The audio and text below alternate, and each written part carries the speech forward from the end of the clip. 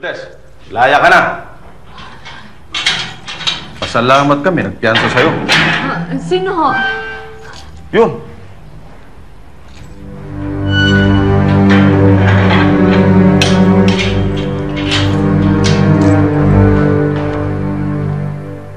Dalawampung taon. Dalawampung taon siyang nawala sa buhay ko. Bakit siya bumabalik ngayon? Maganda. Maganda ang nakikita ko ngayon. Siya ang tutulong sa inyo para muli kayo makaahon. Anong tulong ang magagawa sa akin ng lalaking yon? Hindi lalaki, madam. Hindi lalaki ang tinutukoy ko. Isang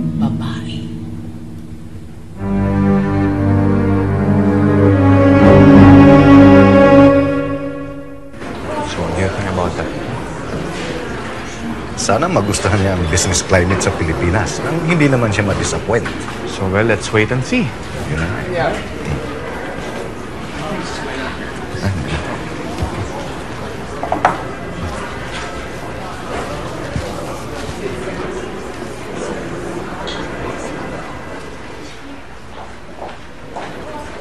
Ladies and gentlemen, our long wait is finally over. Please join me in welcoming our chairperson and chief executive officer, Ms. Amor Powers.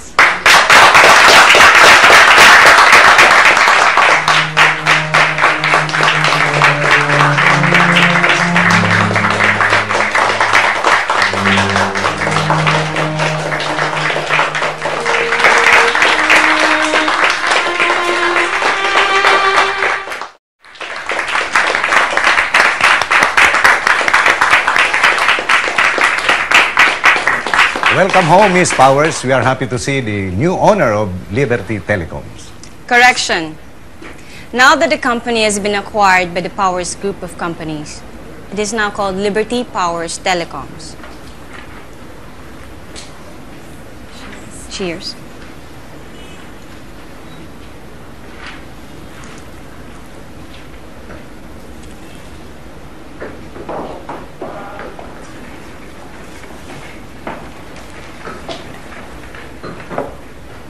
First of all, I would like to introduce Ms. Betty May Vercelles, whom I'm appointing as consultant for special projects.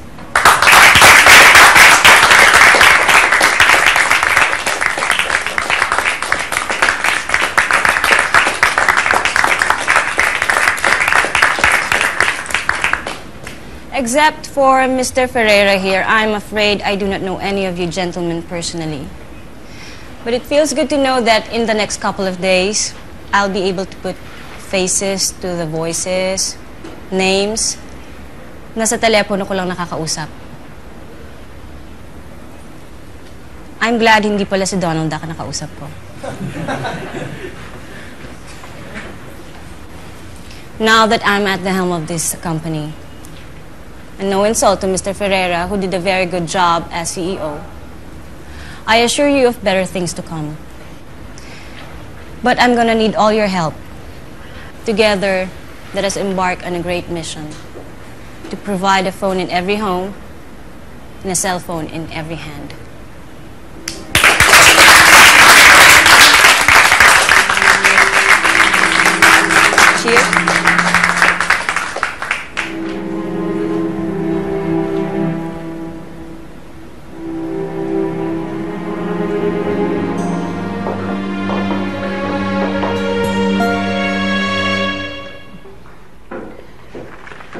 Babalik dito, ha?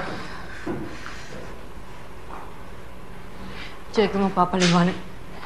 Jericho, Nakatakas si Kaloy, kuya. Ayon sa report, nagpanggap siyang pulis. Tapos yung bangkay ng pulis na pinatay niya, natagpuan.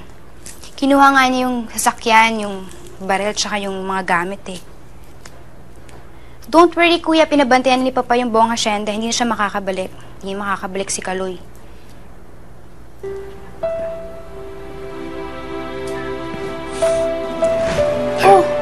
Kuya, ano ka ba? Huwag ka nga masyadong magkikikilos. Hindi pa... Kuya, Magaling yung sugat mo. Pag bumo kaya, baka magdugo. Ang hirap-hirap mo pa naman hanapan ng katipo ng dugo.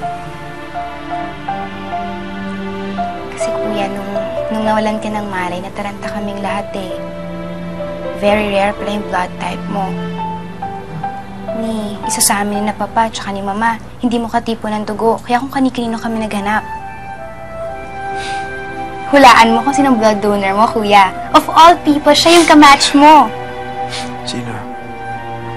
Si Ina.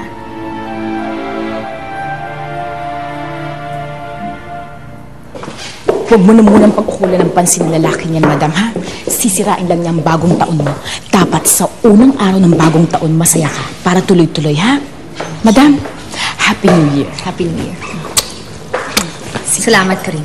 Mag-ingat ka.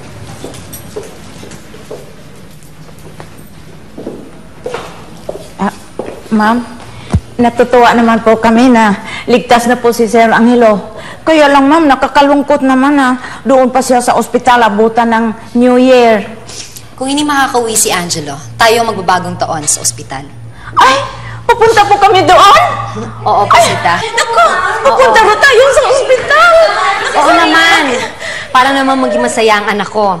Kaya ang gagawin ninyo, magluluto kayo ng masarap na pagkain yung paborito ni Angelo, ha? Para sa ating medianoche. Okay? Opo, madam. o sige na. Ano pang hinihintay ninyo? Gawa na kayo. Bilisin ng kilos. Ah, Ina, may iwan ka dito. Ikaw ang magbabantay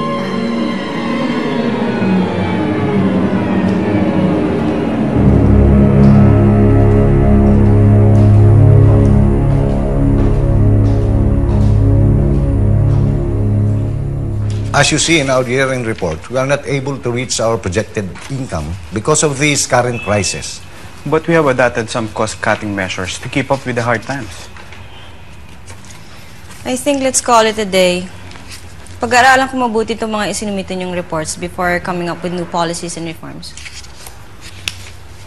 By the way, Miss Powers, we have prepared a welcome party in your honor later tonight. Oh no, Mr. Ferreira, it's New Year. Go celebrate it with your family. Huwag niyo aksayahin tong oportunidad na ito na makasama niyo ang mga mahal niyo sa buhay. Thank you, Miss Powers. Happy New Year. Happy New Year. Happy New Year, Miss Mercedes. Happy New Year. Hey, bye.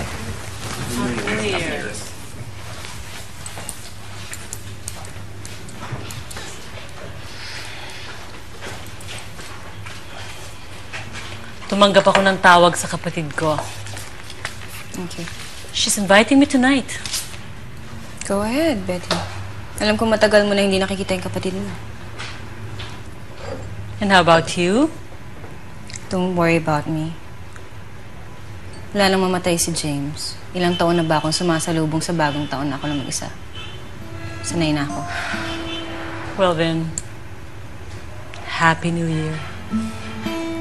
Sana nga maging maganda yung bagong taon.